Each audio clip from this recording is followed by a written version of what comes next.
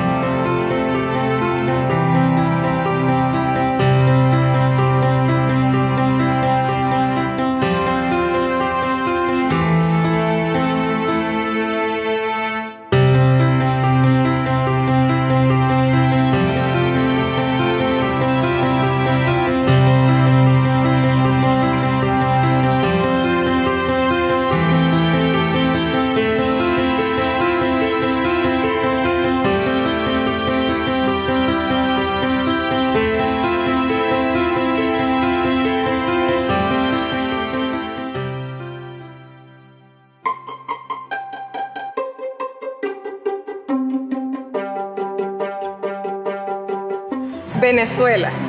En este rinconcito del estado Táchira. Rodeada por las misteriosas montañas de los Andes. Adornando el cautivador valle del municipio Jauregui. Se encuentra la grita. Mi grita. Tu grita. Nuestra grita.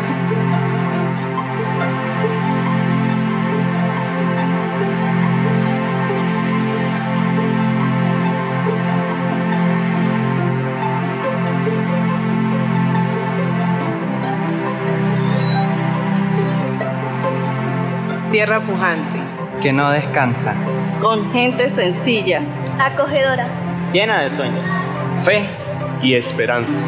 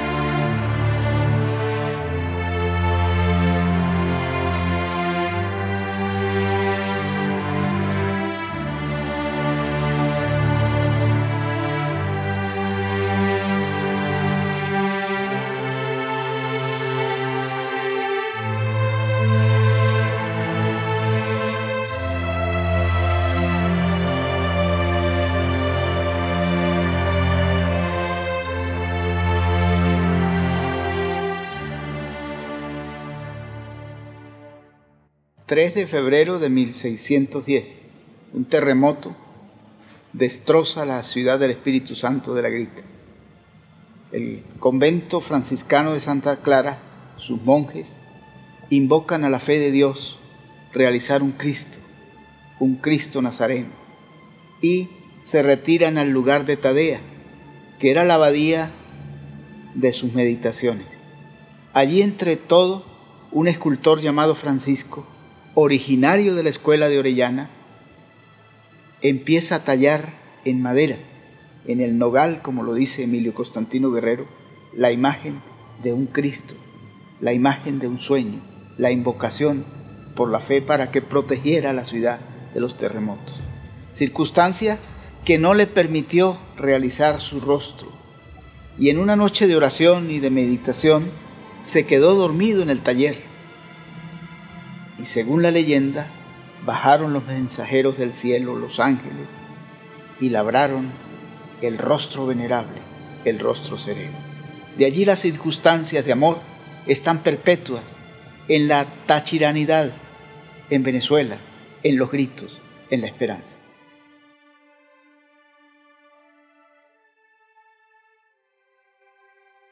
La grita pintoresca, ciudad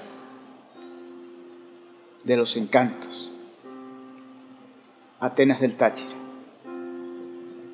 Allí, en su amor y en su esperanza, está una talla del nogal hecha por un franciscano. En 1580 la escuela de Orellana había permitido las invocaciones y se funda la primera escuela de pintura en Venezuela, allí en el convento de Santa Clara. Y entre todas las memorias hermosas, el Cristo, tallado en madera de nogal y policromado al estilo de las escuelas sevillanas, pero con ese sentimiento hermoso del mestizaje peruano, ecuatoriano, guarda esa inmensidad de pueblo y de patrimonio. Jesús de Tadea, como lo llaman los peregrinos y lo llaman los poetas, es el Cristo de los milagros de la grita. Están nuestros originarios y está esa creencia tan hermosa de un Cristo venerable, sereno, entre el amor, entre el pueblo, entre los ojos hermosos de las mujeres andinas, entre la gracia de los niños, entre la esperanza y el ejemplo de los ancianos, entre la poesía viviente que recorre las calles y es que está latente en el azul hermoso de las montañas. Allí está la memoria.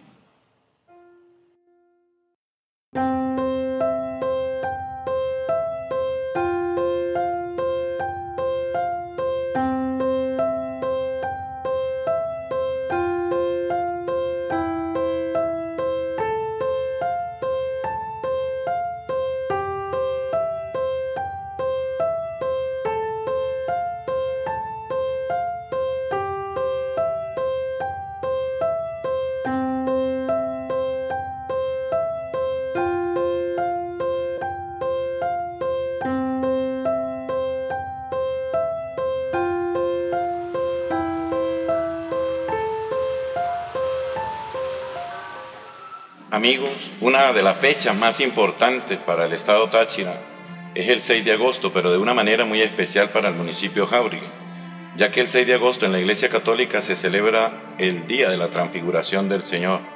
Pero para nosotros los tachirenses, de una manera muy especial celebramos esa gran fiesta que durante 404 años hemos venido celebrando con mucha fe, con mucha esperanza, con mucho amor como es la fiesta del Santo Cristo de la Grita, patrono y protector de nuestro Táchira.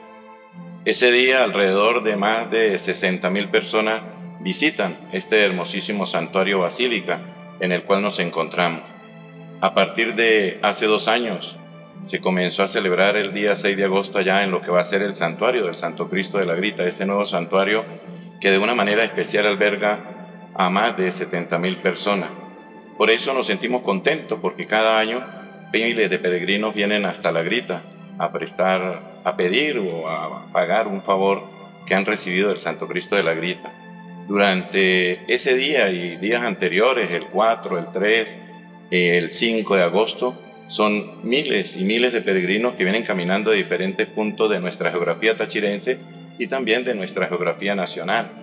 Por ejemplo, a partir del 3 comienzan a llegar los peregrinos que vienen del Vigía, de Mérida, de Valera, de Maracaibo, Capacho y de todas las partes de nuestro Táchira.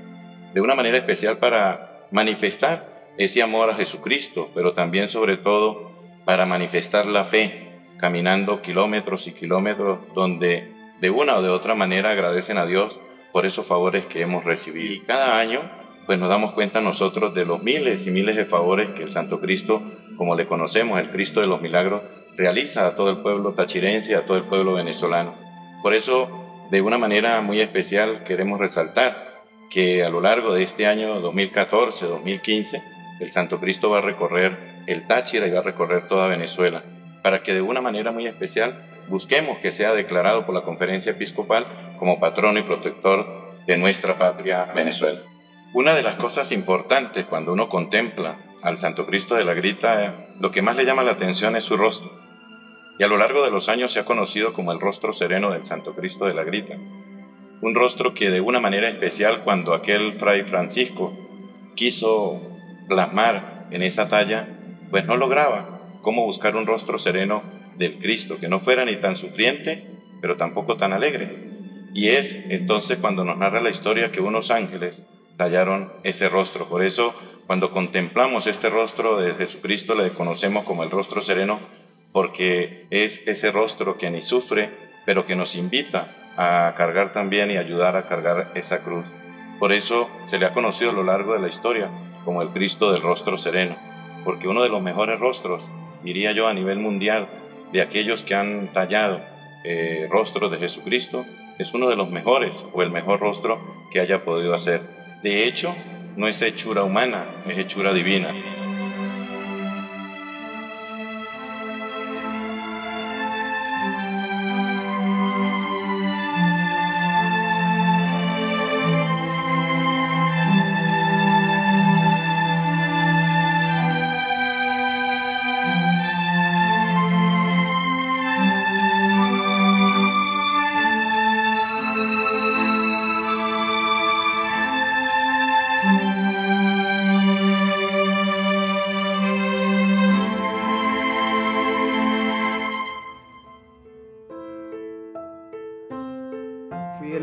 Hacer el proyecto de la réplica del Santo Cristo de la Grita.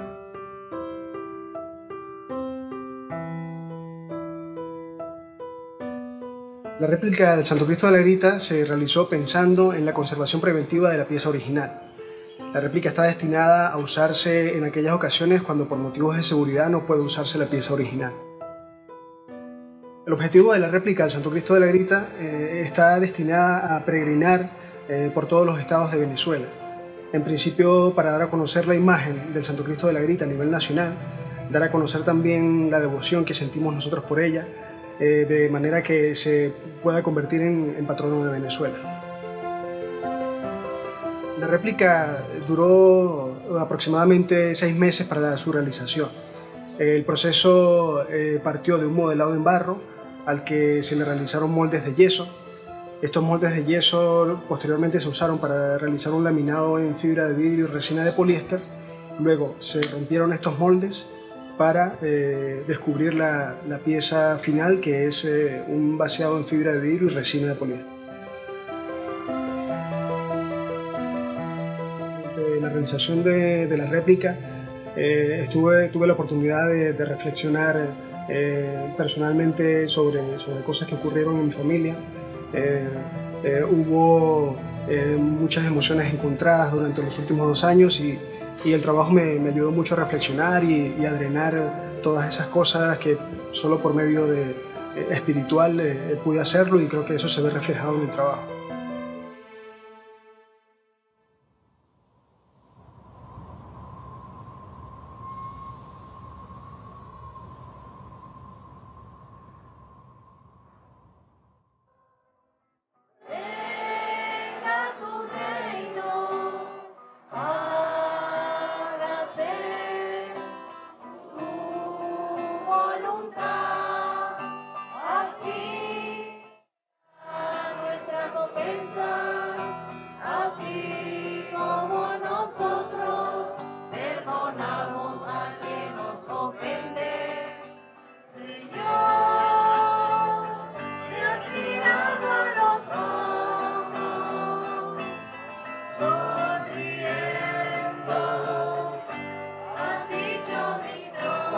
17 años, eh, me encontraba estudiando el quinto año y está ya próxima a, a, hacer el trámite para ingresar a la academia militar, por lo que no le tomé tanta importancia a mi, a mi situación médica.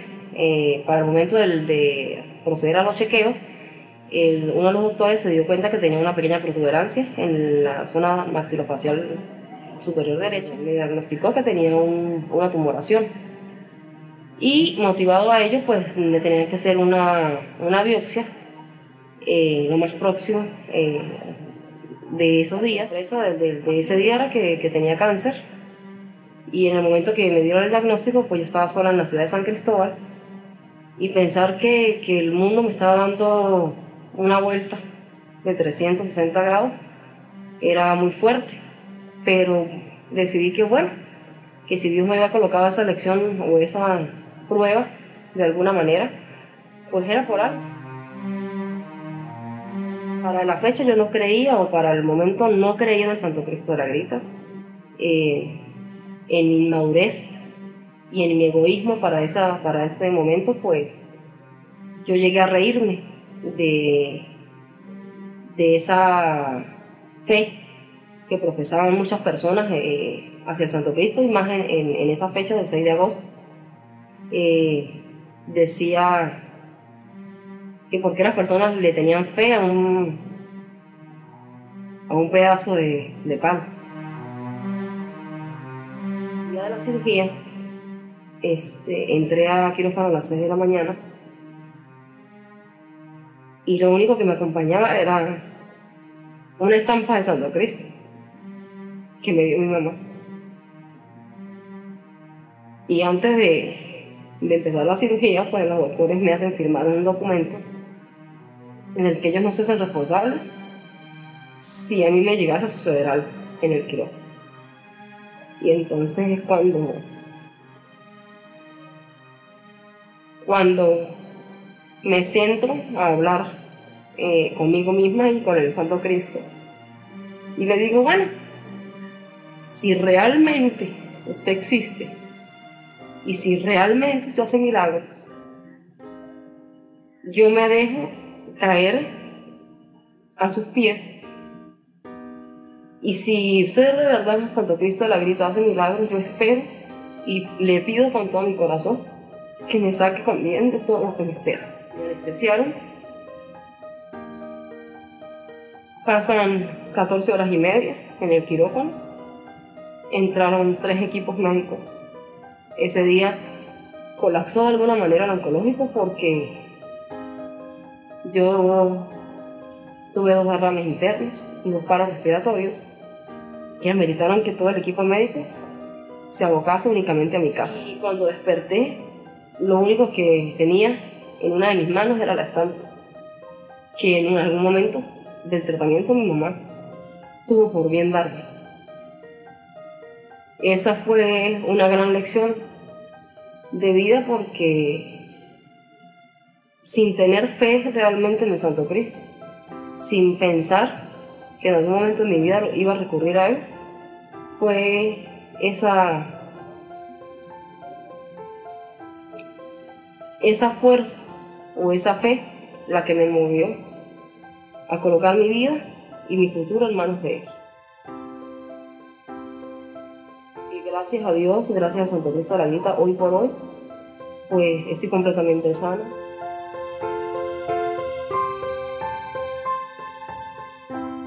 Pero todo fue siempre de la mano con el Santo Cristo de la Grita.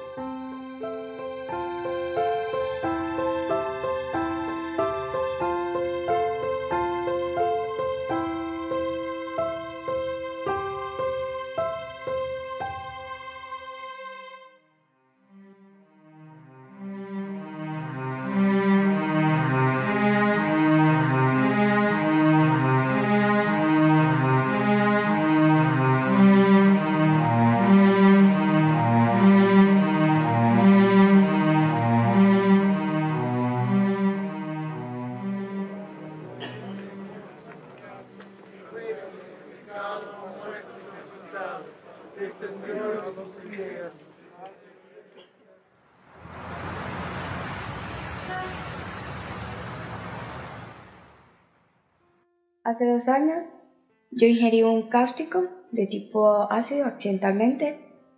Eso hizo que mi esófago se quemara. Llamaban y llamaban a mi teléfono, pero a la vez que yo agarraba se caía y yo como que presentí algo porque yo sentí que, o sea, era algo como algo que tenía aquí en el pecho. Sentí un ardor en, en mi esófago. Después de allí me desmayé, no supe más nada. Cuando desperté ya estaba en el central. Eso fue un 11 de marzo, las dilataciones ya íbamos por la tercera, creo que fue la tercera cuando ese día en Ataca, ella pasó normal, me la durmieron y todo, le hicieron la dilatación, al, eso duraba más o menos media hora. Cuando me dijeron, pase señora, que ya está, y decía, me duele, me duele, yo le pedí que por favor que qué le pasaba, que qué me le habían hecho una radiografía, ahí se dieron de cuenta que había perforado el esófago. Claro, ese riesgo pues se corría en esas dilataciones, de ahí fue trasladada a la emergencia del Hospital Central. Lo que le pasó a su hija es muy grave. En estos momentos su hija va a quirófano. Eso fue un viernes en la noche y hasta el sábado como a la una o a las dos de la tarde fue que me permitieron pasar a verla. Cuando entré tenía tubos, mangueras, tenía un tubo le salía aquí con una botella y unas mangueras por la boca. Estaba solamente con un tocito así, como dormida y tenía aparatos por todos lados. Yo no dejaba de, orar, de pedirle a Dios, al Santo Cristo de la Grita, todos los días y a cada momento me iba para los porches del Hospital Central a suplicarle de ver a mi hija en las condiciones que estaba y por lo que los médicos me decían, que ella no tenía, eh, que estuviera preparada porque mi hija no iba a vivir, que iba a vivir toda la vida aferrada a un concentrador de oxígeno. Primeramente le doy gracias a Dios por darme otra oportunidad de vida, porque antes no podía comer, no podía hablar, no podía caminar, y ahora puedo comer, puedo hablar y puedo caminar. En agosto, como por lo general siempre mantienen al Santo Cristo la grita en el altar, entré de rodillas, yo lo que hice fue que agarré a mi hija de lado y me arrodillé y subí caminando todo el pasillo yo no me había dado cuenta que también al yo arrodillarme me acompañó mi esposo, se arrodilló mi hijo y todos atrás. Yo después pregunté, pero ¿quién me dijo? No, todos nos arrodillamos, la madrina, las tías, todos me acompañaron hasta arriba, donde estaba el Santo Cristo, a darle las gracias por el milagro. Y hoy en día le doy gracias a Dios todos los días de mi vida y al Santo Cristo la grita por el milagro que es mi hija.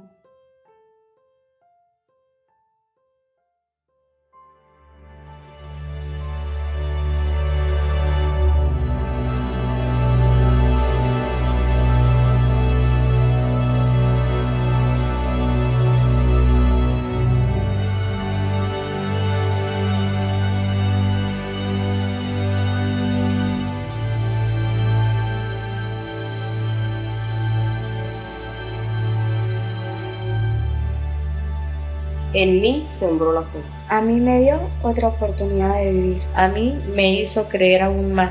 A mí me dio esperanza. A mí me mostró la luz. A mí me hizo confiar en mí misma. A mí me hizo conocer el verdadero amor de Dios.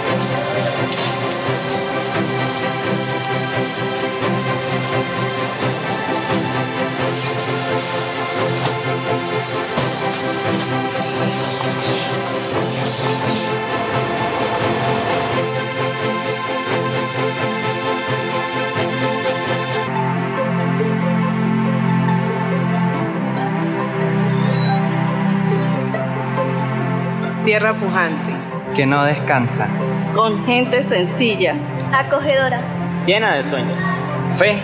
Y esperanza.